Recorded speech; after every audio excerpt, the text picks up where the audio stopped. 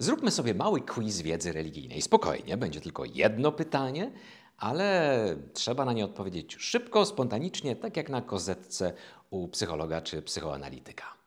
Gotowi? Pytanie brzmi: kto tak naprawdę zerwał jabłko z drzewa w ogrodzie Eden? Adam czy Ewa? Jeśli wasza odpowiedź brzmi Adam, no to jesteście w jednej drużynie ze świętym Pawłem. W dzisiejszym drugim czytaniu Paweł, kiedy cofa się, jakby wzmiankuje tamto wydarzenie, grzech w ogrodzie Eden, nawet się nie zająknął o Ewie. Mówi o grzechu Adama. Hmm. Ale z drugiej strony czytaliśmy pierwsze czytanie z Księgi Rodzaju, gdzie słyszeliśmy wyraźnie, że to Ewa sięgnęła po to jabłko. Jeśli się jeszcze nie zorientowaliście, to od początku tego quizu jesteście poddawani pewnej manipulacji. Po pierwsze, w moim pytaniu specjalnie zmieniłem ton głosu, tak by wyeksponować pierwszą część, pierwszy człon tego pytania. Czy kto tak naprawdę przez co zasugerowałem, że w obiegu mogą być jakieś inne opinie, błędne na ten temat i czy przypadkiem nie jesteście przedstawicielami tychże. Nasz umysł zaraz na baczność, no i właśnie, nasza czujność wzrasta. Ale nie na tyle, by wyczuć jeszcze od razu zawartą tutaj pułapkę. Ale potem jest kolejna pułapka, kolejna manipulacja, bo ja zasugerowałem, że chodziło o jabłko. Tymczasem w tekście biblijnym nie ma żadnej informacji na temat tego, jaki to był konkretnie owoc. Fakt, rabini od najdawniejszych czasów próbowali mierzyć się z tym tematem, mówiąc, mmm, to na pewno była, było, było jabłko granatu. Inni mówili, nie, to figa była. Jedni, jeszcze inni mówili, to było winne grono. Może to był etrog, coś, co przypomina trochę taką naszą dużą cytrynę. Tak naprawdę w tym tekście wcale nie chodzi o to, jaki to był owoc. Chodzi o coś innego. Jest to piękna metafora, piękna opowieść o tym, co wszyscy znamy o kuszeniu, o pokusie. Można by powiedzieć, że w tym obrazie zawarci jesteśmy my wszyscy, którzy wiemy, co to jest pokusa, w jaki sposób się z nią walczy, jak trudno i w jaki sposób można jej ulec. Przyjrzyjmy się więc manipulacji, która jest esencjalną częścią każdej pokusy. Najpierw kobieta słyszy czy naprawdę Bóg powiedział? Innymi słowy, jeśli powiedział, a ty w to wierzysz, to śmieszna jesteś. Nikt nie chce być śmieszny. W ten sposób e, ustawia się człowiek w pozycji defensywnej.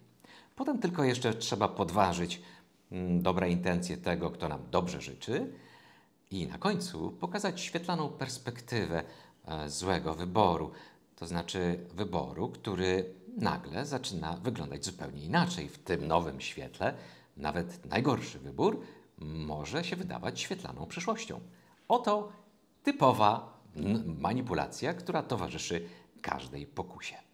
Zobaczmy, na jaką manipulację zdobył się diabeł w tym opisie ewangelicznym dzisiejszym kuszenia Pana Jezusa. Przede wszystkim zauważcie, że diabeł posługuje się słowami świętego pisma.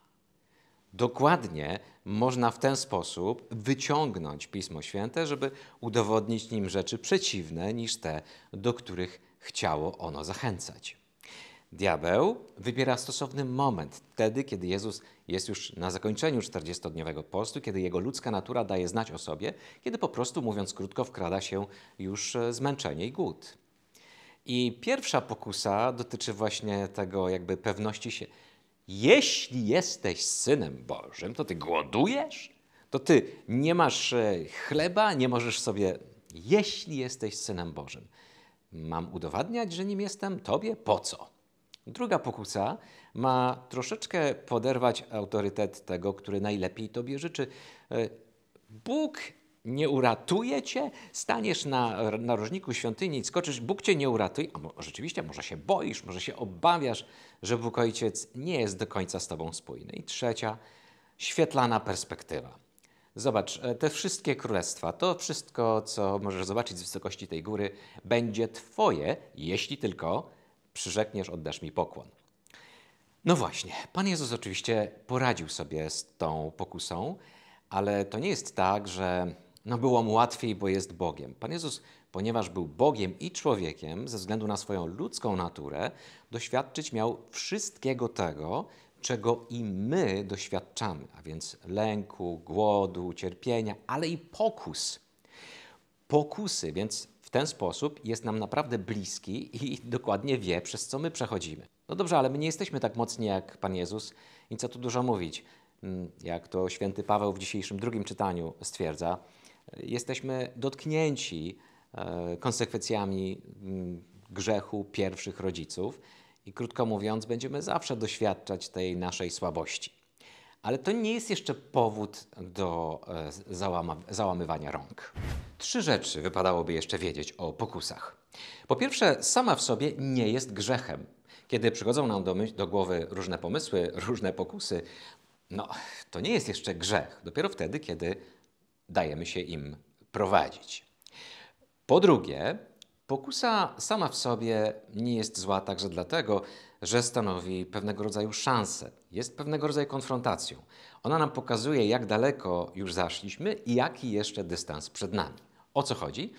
No, skąd by żołnierz wiedział, że jest świetnie wyszkolony, gdyby nie e, trening, który odbył, gdyby nie wyzwania, które mu zafundowano i tak dalej. Właśnie, gdyby nie było pokus, nie moglibyśmy dojrzewać, nie moglibyśmy wzrastać, bo nie byłoby tej konfrontacji. W tym sensie są one korzystne. W modlitwie Ojcze Nasz, którą odmawiamy przynajmniej raz dziennie, no cóż, w tej modlitwie słyszymy i nie wódź nas na pokuszenie. Jakiś czas temu papież Franciszek zwrócił uwagę na to, że trzeba by to tłumaczenie może udoskonalić i nie pozwól, byśmy ulegli pokusie, bo taki jest sens tego, co słyszymy w Ewangelii. Innymi słowy, Pokusa to jest coś, co w naturalny sposób towarzyszy naszemu życiu i nie prosimy, żeby nie było żadnych pokus, tylko prosimy generalnie o to, żebyśmy byli wystarczająco mocni, żebyśmy zbudowali wystarczająco mocną wiarę, by po prostu odpierać pokusy. W ten sposób doskonalimy się, gdy chodzi o nasze duchowe, duchową dojrzałość. wreszcie trzecia rzecz – to jest taka, że jest taka zasada jakaś dziwna, że jeżeli ktoś chce być blisko Boga albo zbliżać się do Niego, to pokus będzie co niemiara. Ci, którzy nie chcą być blisko Boga, można by powiedzieć, zrealizowali już pewien plan złego i po co miałby ich jeszcze kusić? Oni nie doświadczają pokus, można by rzec, w tej materii, o jakiej chodzi, o jaką chodzi. Natomiast ci, którzy chcą być blisko Boga, zbliżyć się do Niego, no przygotujmy się, że tych pokus nam nie zabraknie. Warto to pamiętać na początku Wielkiego Postu, kiedy już jesteśmy po podjęciu wielu różnych postanowień zapewne, bo no cóż, wyzwań nam nie zabraknie. Jeśli naszym celem jest umocnienie relacji z Panem Bogiem, zazięgnięcie jeszcze głębszej więzi poprzez na przykład różne praktyki postne, bądźmy pewni, że pokus nie zabraknie. Ale co tu dużo mówić? Pokusa nie jest tak do końca naszym wrogiem. Módlmy się zatem, byśmy zawsze mogli stawić jej czoła i wyjść z, z tej konfrontacji zwycięsko. Ksiądz Dariusz Iwański.